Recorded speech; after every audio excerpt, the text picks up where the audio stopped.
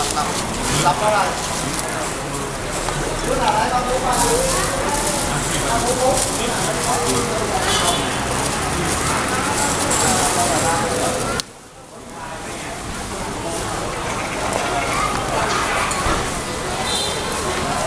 Lật luôn hả?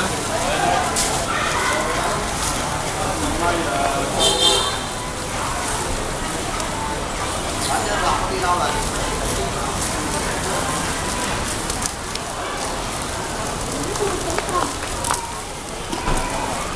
Đây là thằng nào thu đây Hãy subscribe cho kênh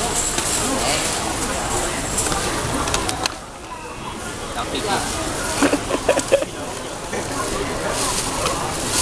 không bỏ lỡ những video hấp dẫn